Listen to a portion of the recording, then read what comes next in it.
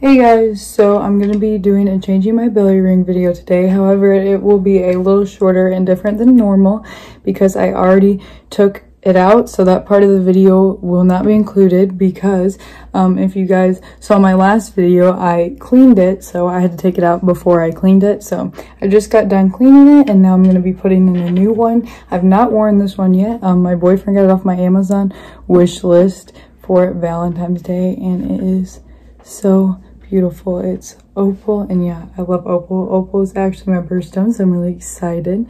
Um, but yeah, um, if you guys ever want to get me any belly rings or anything, my Amazon wish list is linked below. So yeah, just reminding you guys and for those of you who might be new here,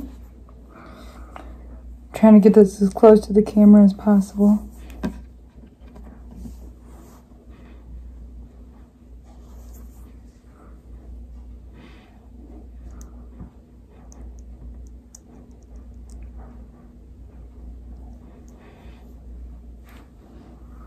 All right, there we go. It's in.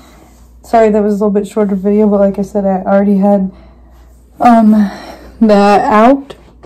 So yeah, and I hope you guys enjoyed my last video of me cleaning it. I know it was a short little video, but I still thought you guys would enjoy seeing it.